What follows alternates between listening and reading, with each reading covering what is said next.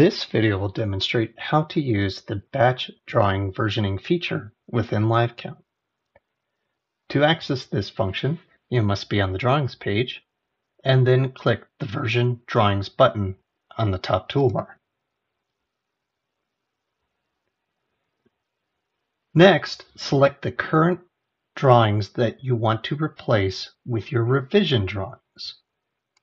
So I'm going to select lighting plans 1 through 5 and then click continue. On this next step, you're going to link the current drawing to the new incoming version.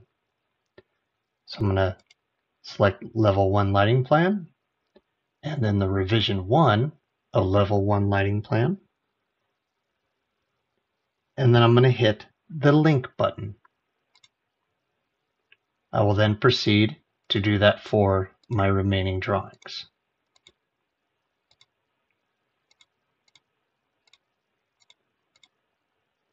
Once you have linked the necessary drawings, click the Copy Annotations to New Versions.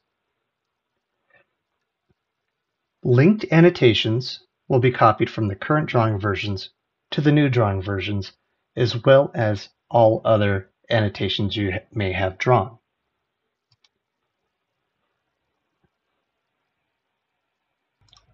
Once the process has been completed, you will see a notification down at the bottom with the number of drawings that have been successfully versioned and with their annotations copied.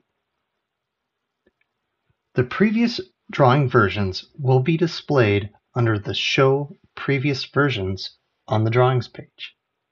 So in this example, I'll click Show Previous Versions, where I can rename the previous version if desired,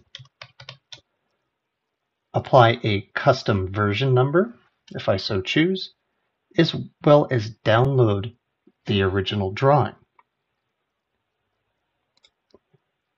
As you will also see, the status has been set to new version so you can easily identify which drawings have just been versioned. Moving to the canvas,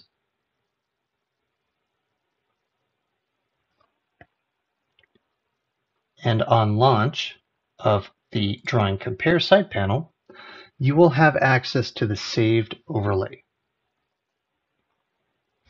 In case the auto alignment was not successful or to your satisfaction, you can manually realign the drawings by clicking on Realign.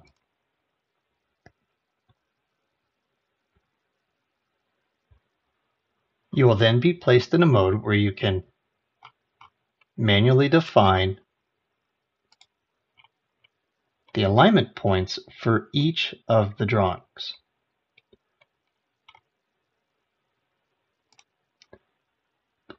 Once you have defined it on one drawing, you'll repeat, repeat the process on the next drawing, working left to right and placing the points in the exact same location as the previous drawing,